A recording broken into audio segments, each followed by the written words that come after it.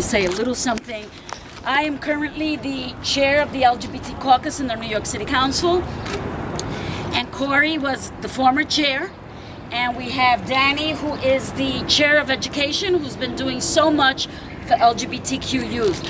But today, as we talk about ensuring that our history is not invisible, I think the steps you took years ago was to ensure that we were not invisible. So we're going to out our history in addition to outing ourselves and making sure that our history is documented. So thank you for taking that first step so many years ago uh, to ensure what became our movement and our rights that we have today, uh, including the right for someone to marry and adopt a child, a same-sex couple to do that, and um, it's it's uh, we are working. The LGBT caucus have put out a statement. We want this to get landmarked, and landmark status can be given to significant uh, places that have contributed to our history. So we think that this is very much worthy of landmark status, and we hope that that will happen soon. Corey.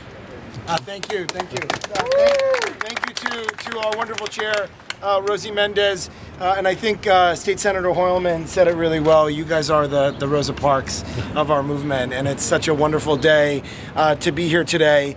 I, I, just want to say that, um, you know, Brad's right, you are well preserved. And uh, I was born in 1982. So uh, the work that you all did uh, predated my existence. Uh, and when I was a 15 year old, closeted uh, young man in Massachusetts, and I was despondent and suicidal and depressed and didn't know what I was going to do with my life, um, what actually got me involved with activism and feeling comfortable coming out was going online at the time with a dial-up modem uh, and looking at what LGBT history was and that there was a history and that there were people that uh, had really done significant things and were living productive, happy, wonderful lives. And that all happened because of what started here at the corner of Waverly Place and West 10th Street here at Julius. So um, I wanted to, to, thank Randy and thank Dick uh, for your contributions. Uh, before I hand it over to uh, the Queen of Queens, Danny Dromm, uh, I, I, want to uh, first present this uh, to Dick. This is for you. It's a proclamation from the City Council. Randy, we have yours. The frame wasn't done yet, so we're going to get it to you.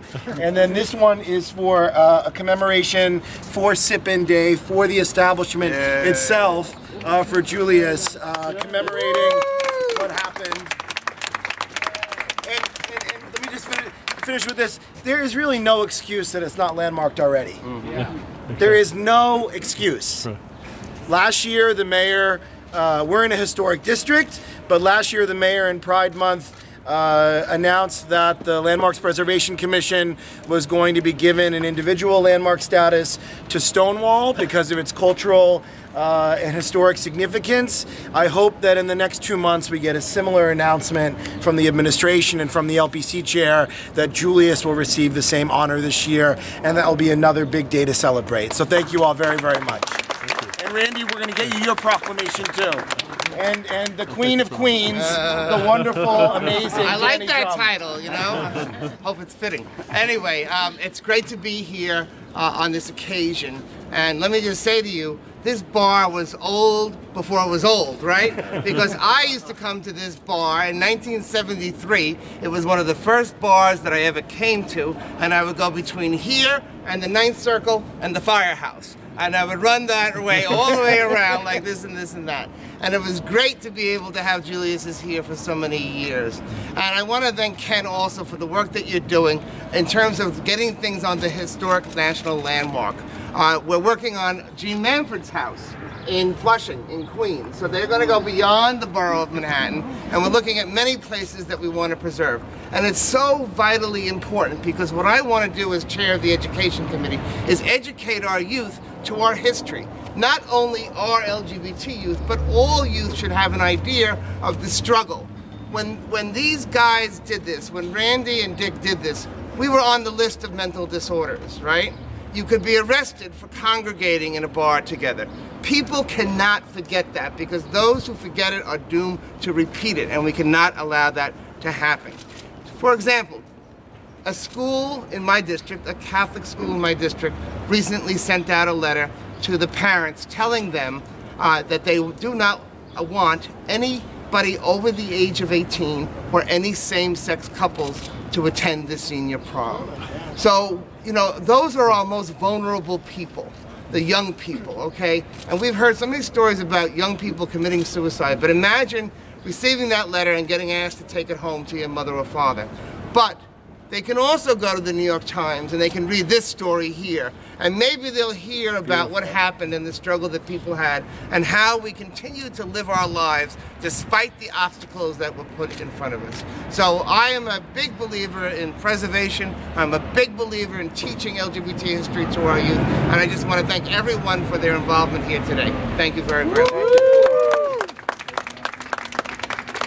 Thank you.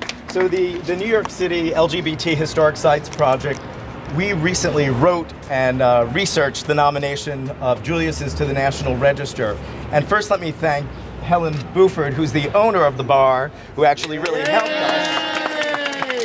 And has, and has kept Wonderful. Julius's as authentic as it ever has been. Yes. So thank you. And I also want to thank uh, Alan Wasserman, who's the owner of the building, because without uh, his consent, we could not have done the nomination.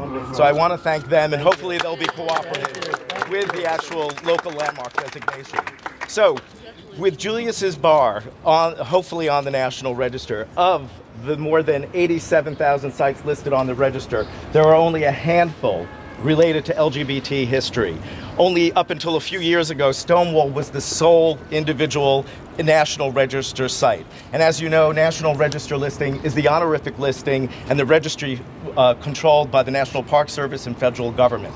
So having that history legitimized and recognized on the National Register makes our history, LGBT history, stand next to American history and culture, which it is. So on that note, I want to uh, introduce Joshua Laird, who's Commissioner of the Parks, uh, National Parks of New York Harbor, who hopefully will be making an announcement to us today. Hopefully. Hopefully. Hopefully.